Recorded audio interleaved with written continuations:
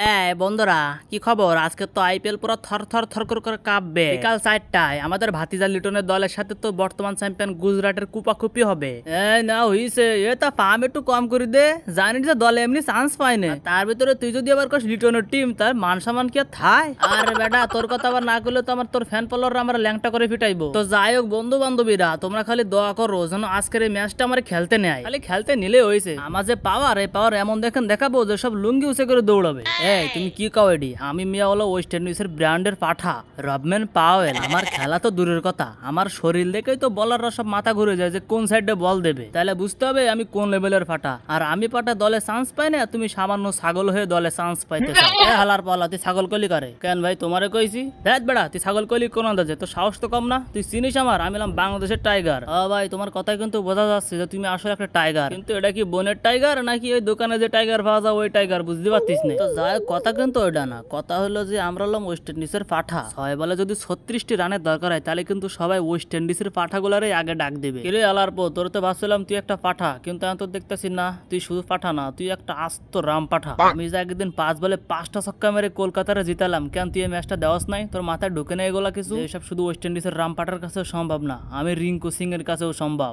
এর মামা, পাঁচ বলে পাঁচ ছক্কা, বুঝো নাই? ওটা হচ্ছে ভং সং। তোমার ওই দিন মনে করো তোমার লাখ ছিল একশো একশো। এর লাগে তুমি পাঁচ বলে পাঁচ ছক্কা মারতে পারছিলা। আরে ভাই আমি তো শালার এমন বল করব যে কলকাতার শালার কোনো ব্যাটসম্যানরা আমার বলই চোখে দেখবে না। শালার যদি আগে ব্যাট করে তাহলে তো একশো রানে প্যাকেট করে দিব। আর আমরা যদি আগে ব্যাট করি তাহলে আড়াইশো রানের টার্গেট দিব। হ্যাঁ দা পাম্পুস খান দা রশিদ খান লাফায় লাভ নেই। পয়েন্ট টেবিলের তলে আছি মাথা একবারও নষ্ট। ম্যাচ জিতা লাগবে। এতদিন মুভির ভিতরে যে ফাইটগুলো শিখছি সবগুলোর পোলা পানে শেখাই দিছি। খেলা জিততে না পারলেও কি হয়েছে? মারামারি করে জিতে আসা লাগবে।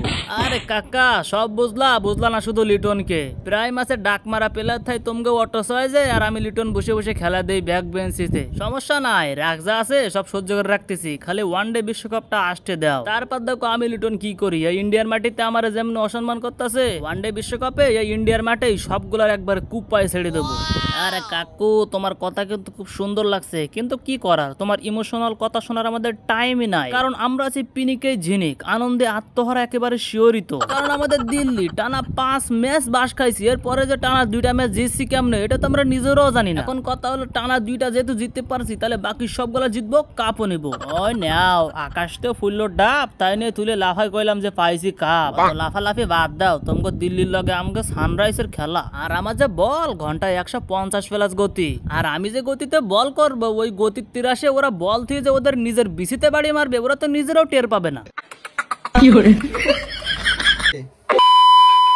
সুপ্রিয় দর্শক আজকের ম্যাচে কলকাতা ভার্সেস গুজরাট এবং দিল্লি ভার্সেস সানরাইজের আপনি কোন টিম সাপোর্ট করতেছেন অবশ্যই কমেন্টে জানাতে ভুলবেন না। আর আজকের এই ভিডিওটি যদি সামান্য পরিমাণ ভালো লাগে থাকে, অবশ্যই লাইক করবেন, কমেন্ট করবেন। এবং যদি একটু বেশি পরিমাণ ভালো লাগে থাকে, অবশ্যই পিছন মেরে একটি সাবস্ক্রাইব করবেন ক্রিকেট লাভার্সকে। তো আজ পর্যন্ত দেখা অন্য কোনো নতুন ভিডিওতে, সে পর্যন্ত সকলে ভালো থাকুন, সুস্থ থাকুন।